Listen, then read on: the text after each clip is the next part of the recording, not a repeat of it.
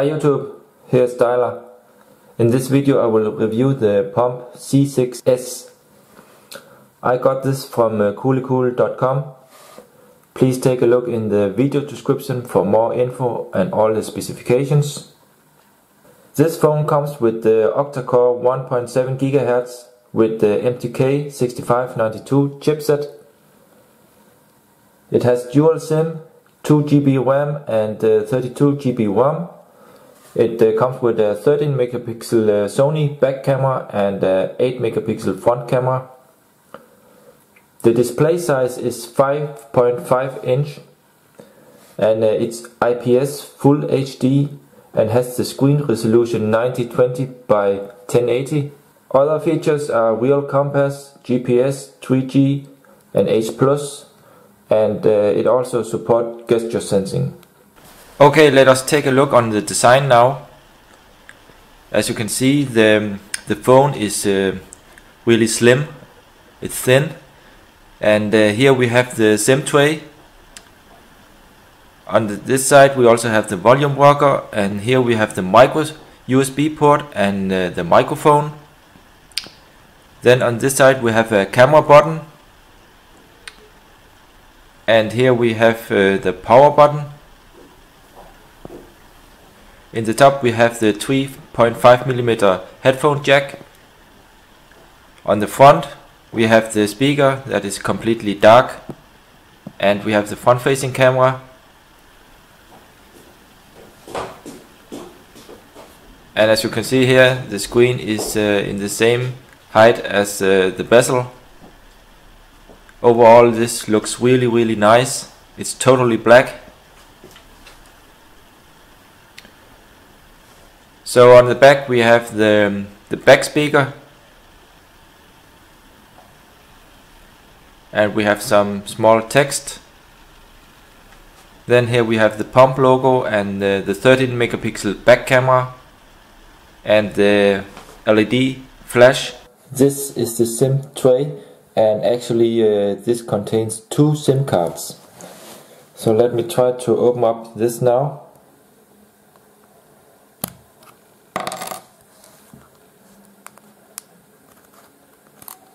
Here you see the SIM tray can contain two SIM cards and uh, it's inserted into this slot.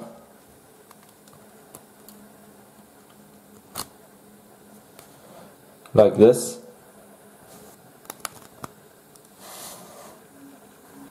So let us try to see the weight of this device.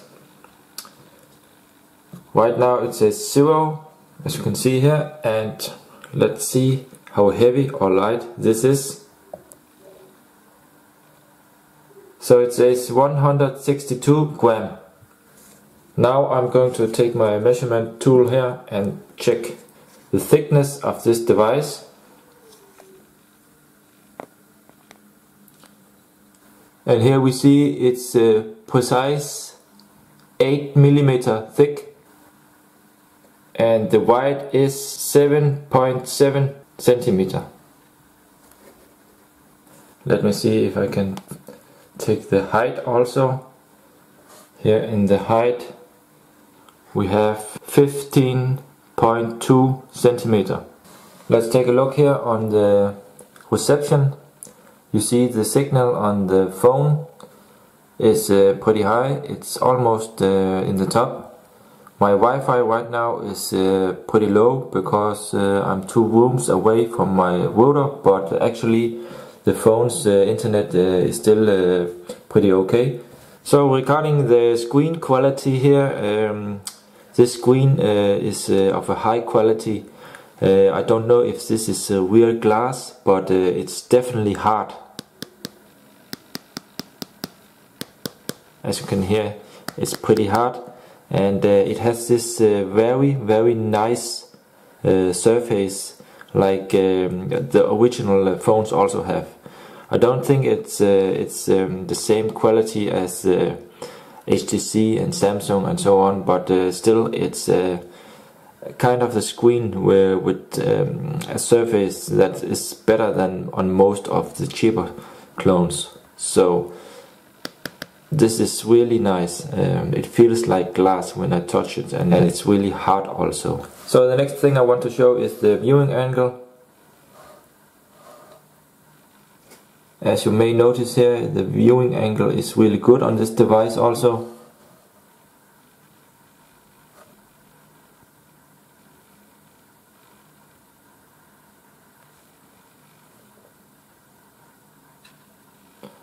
and the colors are really sharp and nice. This device have a really vivid screen. Regarding the battery life in this device, uh, it comes with a 3000 milliampere built-in battery and uh, so far I'm uh, really satisfied with the battery life uh, because uh, I can use the phone uh, a whole day with pretty heavy load and still it keeps the battery pretty good. Today I have used the phone very much and you can see here the battery says it's still 80%. So um, I believe the 3000 milliampere inside here is actually true. One of the good things is that uh, with a brand like Pomp you can really trust the specs. This is a really uh, high quality product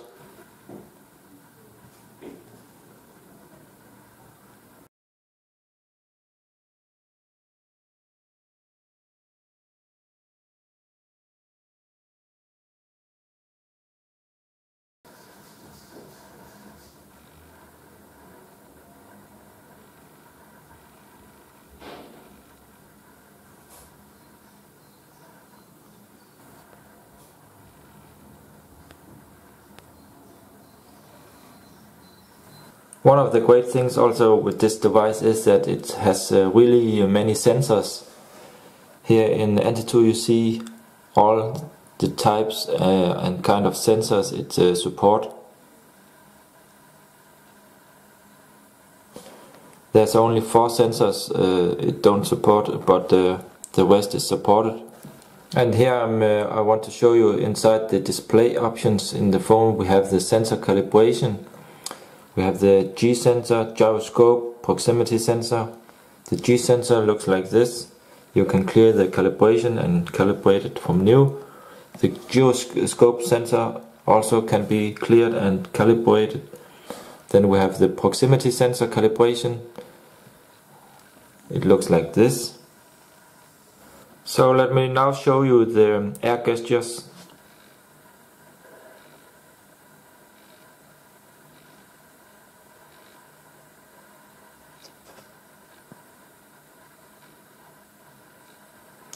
and as you can see this works in both ways. Not only the the left or right way you can go to this side or back again. Also in the gallery we can try here.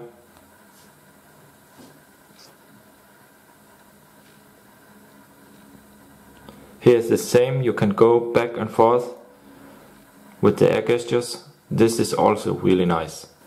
Let us take a closer look to the software and the inside of the phone. So uh, here on the front uh, I have uh, the LG lock screen because I didn't really like the, the Pomp lock screen. It's only a lock screen uh, with no features actually so uh, you can just install any other lock screen. So if you take a look here on the desktop you see here the speed is really good no lag at all. It switches the sides really fast here and of course the same in the apps here. There's no lag whatsoever. Let's go to the widgets. Here they also react really fast. We have the touch button with light here when uh, they go out um, this area is complete dark as you can see. The same uh, for the screen. If I turn off the screen this whole area is just completely dark and that's really really nice.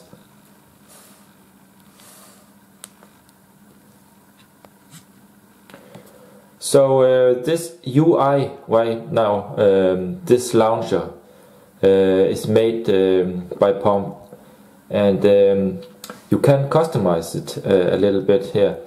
Uh, we have something called appearance settings. And here you can see you can change icon settings the dock bar you can hide it and the page indicator labels and the grid. You can also remove the status bar and so on. For example if you don't want the dock bar you press here and you see the dock bar here is gone You can also go to the icon settings and uh, here you can set your own icons for each app if you want that. For example, if you have the Antutu, you go here, you say uh, gallery, then you take a wallpaper like this one for example, then you here resize how big the icon should be. Then you also say save here. And you can see the Antutu icon has changed to this wallpaper. Of course you can restore the default. I'll do this now yes. And now the Antutu icon is the stock. When we take a look on the multitasking overview we have task manager and we have remove all or you can just swipe to the side. A special uh, shortcut is uh, this uh, one you see here here you can go directly to settings you can do a screenshot go back or home or you can go to the lock screen for example you are here lock screen and it's locked this one you can move where you want it on the screen. You can also just disable it if you don't want it. It's here, the quick shortcut and it's not there anymore. The nice thing is that uh, you can even see this inside of games also. So if you, for example, want to take a screenshot inside a game, just hit this or if you want to go to the settings or something, here in the top you see I have enabled the NFC and the, the NFC works perfectly with the original um, phones and brands. There's no problem with that. We have uh, some quick toggles here in the top to the most used uh, features like Wi-Fi, Bluetooth and so on. We can go into the settings here and uh, here we have the SIM management, Wi-Fi, Bluetooth, here we have the NFC and the NFC uh, also have some options as you can see here. Then we also have uh, motion and gestures. You can set this to on or off. If I set this to on, um, then we have display. This phone have the clear motion and um, we have different uh, options here to be displayed Also here you can change the HDMI settings. For example the video resolution if you connect it to HDMI. And down here we also have the Wi-Fi Direct. Uh, this will work with Miracast. Inside of the battery we have things like the CPU power saving mode. Let us take a look in About Phone. Here we have um, the info about the phone and we have the Android version 4.22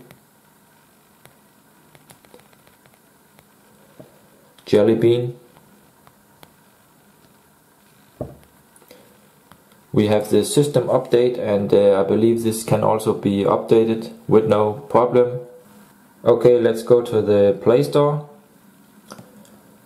and this also work with no problems this also all the apps here we see. Let's take a look in uh, YouTube. Here we have the app and as you can see I'm also signed in so this works fine. Here are all my uploads.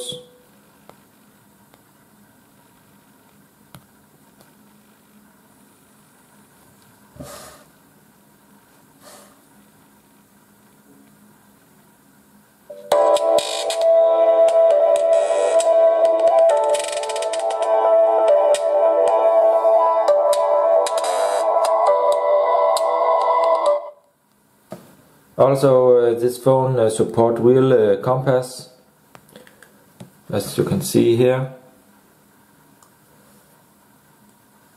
The compass is real on this device. Let's take a look in CPU identifier. What we have here is MediaTek 8 core, the Pomp brand and model number. Uh, we can see it has uh, 2 gigabyte of uh, real RAM. We see the GPU.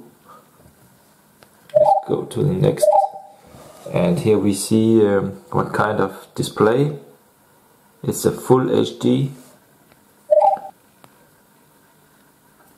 Here we have the flashlight. And you can see it's really really bright I think uh, it's much brighter than uh, other brands.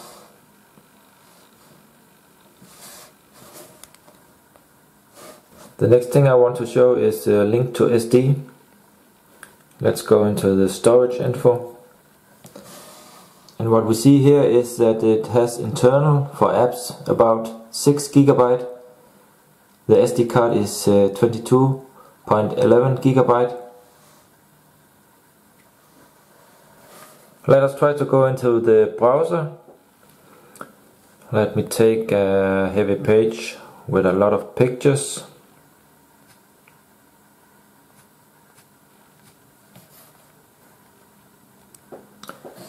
And as you see the browser is really fast. Let's try let us try to scroll.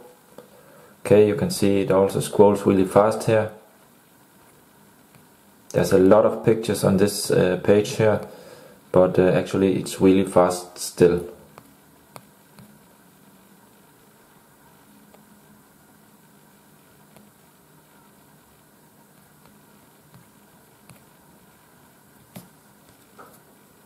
Okay guys, now I'm going to show you that the NFC also works on this device. As you can see here, the NFC is enabled in the top. Here I have my uh, M8 with the NFC also. So I turn this on. I go to the gallery here. Here I have a picture I for example want to send. So I hold this.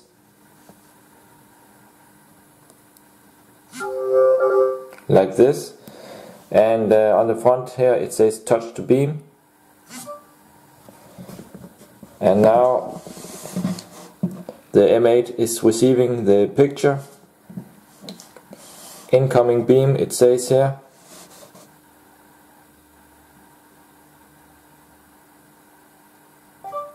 So now the beam is completed and I can touch to view it in the gallery here. And here you see the picture from the Pomp I sent to the M8 so uh, when you want to activate the camera very fast on this uh, phone you just uh, press and hold the camera button here in top and as you can see the camera starts up uh, very fast.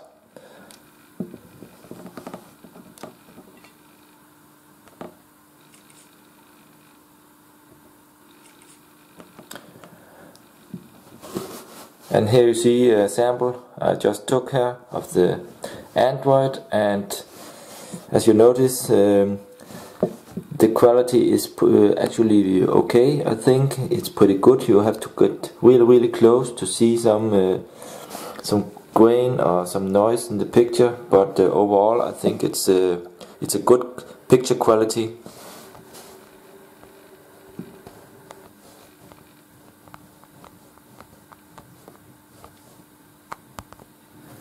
So uh, this camera also support the object tracking. So when I press an object here and I move it, you see. It tracks the object. Or if I move the camera to the side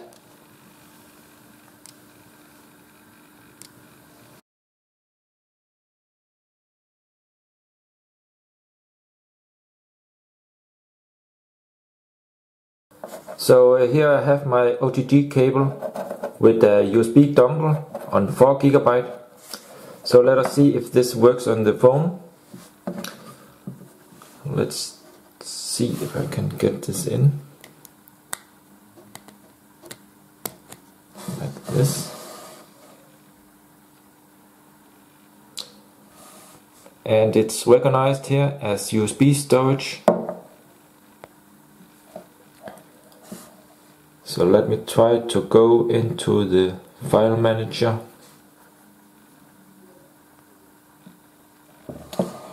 And here we see the external USB storage.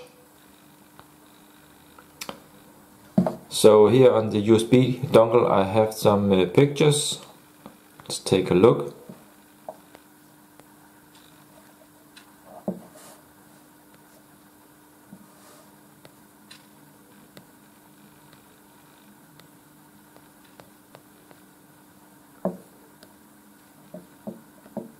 Also I have some music here. Let's try this one.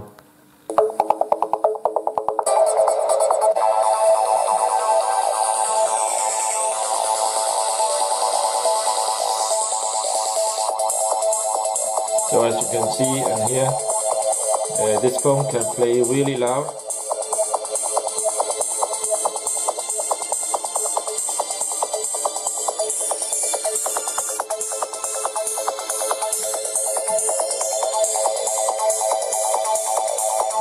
As always, I'm also going to test uh, a Bluetooth uh, mouse here.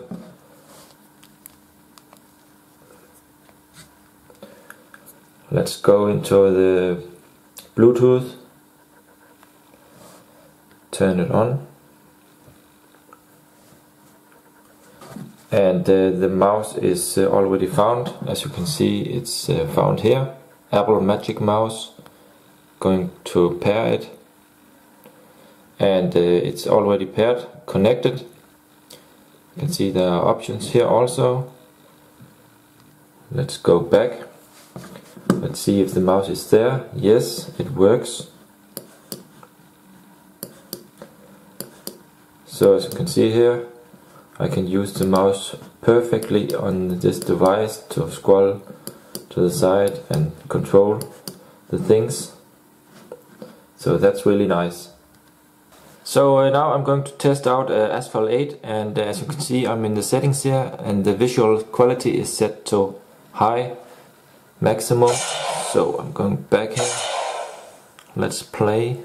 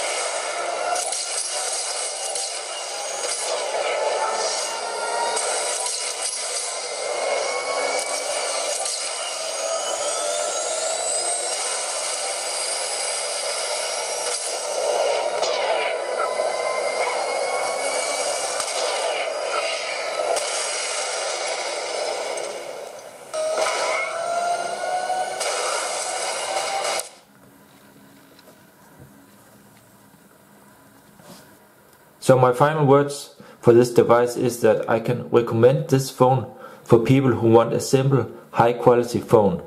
It has a very big nice screen and when turned off it is totally black. That's really nice. The phone is very fast and has a nice UI from Pomp that can be customized in different ways. So uh, that's it for now. If you have any questions please remember to comment below and subscribe to my channel. I hope to see you in my next video. See ya.